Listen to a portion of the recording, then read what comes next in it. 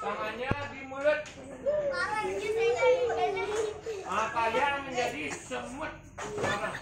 Mau potong daun, potong daunnya. Ke depan, ke depan tangannya ke depan.